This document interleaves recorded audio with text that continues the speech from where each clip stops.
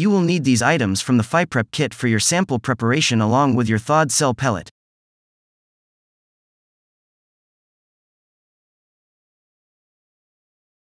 First, add the RNase A vial contents to the resuspension buffer bottle.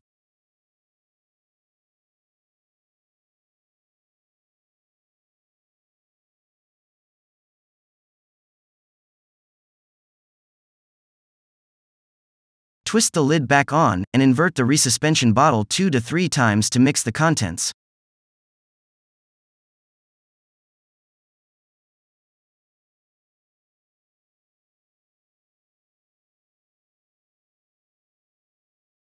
Then, add the resuspension mix to the clear cell pellet bottle.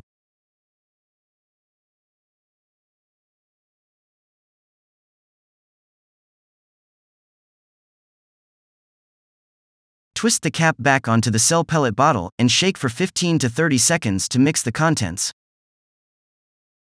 The resuspension beads will aid in dislodging the cell pellet.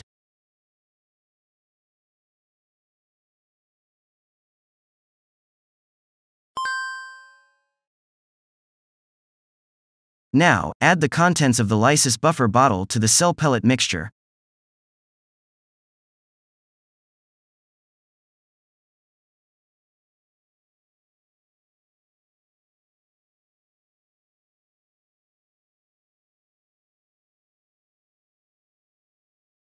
The solution will turn blue when it's fully mixed, but be careful and do not exceed 5 minutes during lysis.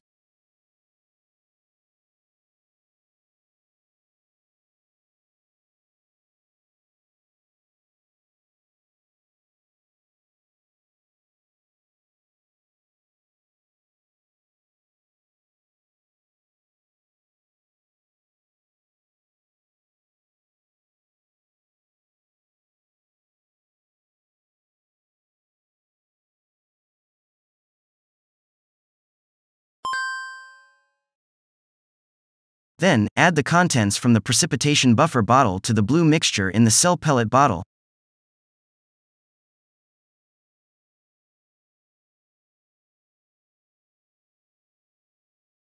Twist the cap back on tightly and gently invert the bottle 10 to 30 times. The plasmid DNA remains in solution while the cell debris is precipitated.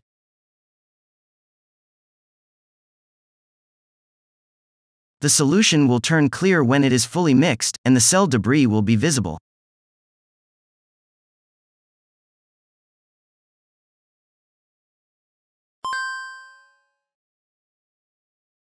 Next, you will need to assemble the sample filter reservoirs that consists of two parts. The filter lid, with an open section, and the reservoir with a large edge and a small edge for orientation. To ensure proper assembly, insert the top open section onto the small edge of the reservoir. When assembled correctly, the lid would fit on the reservoir without any gaps. Then, place the sample filter reservoir on the deck with the filter section closest to the front of the instrument. Finally, pour the bottle contents into the sample filter reservoir and your sample prep is complete.